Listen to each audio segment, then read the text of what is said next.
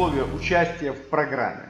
Ну, во-первых, на специальной странице, которые, на которую вы можете попасть, и те партнеры, которые вас пригласили на этот вебинар, они вам дадут ссылку на страницу. Или же вы уже ознакомились с данной страницей. В свободном доступе вы можете скачать основной договор и договор поручения. Это два основных этих договора, которые нужно будет э, скачать, заполнить, подписать и отправить нам. Э, на каждый земельный участок отдельный пакет договоров из этих двух договоров в трех экземплярах. Э, кроме подписанных договоров, вы отправляете, вы вносите еще залог. Тысячу гривен залога по каждому участку отдельно. Зачем залог? Вопрос этот часто возникает. Мы тестировали программу, много людей в нее вошли. Это был пилотный такой проект на полтора года. Перед тем, как запускать 50 на 50, мы запускали более жесткую форму на нашей программы.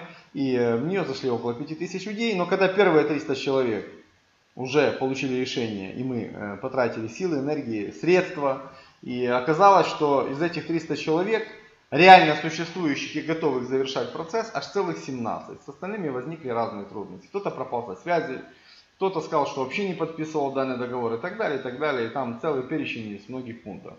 Э, то есть оказалось, что люди, не принимая осознанного решения или вообще как бы его не принимая, тем самым создали нам массу затрат э, и хлопот. Э, таким образом появился залог, который в первую очередь идентифицирует вас, то есть вы при оплате или через банкинг, или через кассу, или лично, когда вы приезжаете, вы себя идентифицируете, мы видим, что вы реальный человек. Во-вторых, вы принимаете осознанные решения, поскольку вы, внося залог, принима, ну, вы уже решение приняли, и залог осознанно вносите. Этот залог подлежит возврату, вы его в любой момент можете вернуть. Это не оплата нашей работы, это э, гарантия того, что э, мы, когда доведем процесс, мы, э, так как и вы, увидите завершим процесс и сможем каждый из нас заработать те деньги, на которые рассчитываем.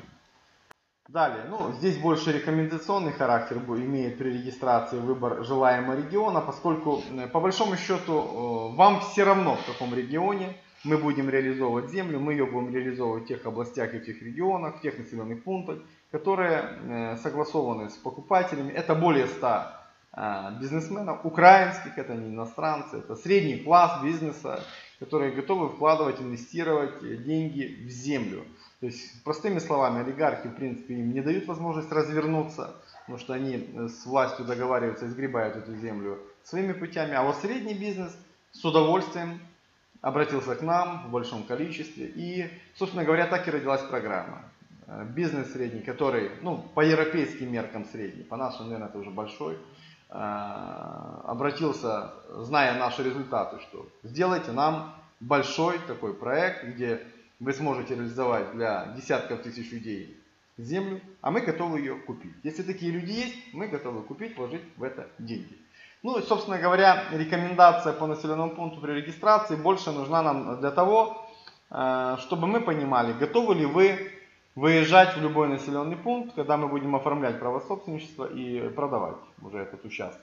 Или же у вас есть какие-то причины, здоровье, какие-то убеждения, что вы вот дальше какого-то региона выехать не можете. Если вам все равно, ничего в эту графу не вносите, желаемый регион.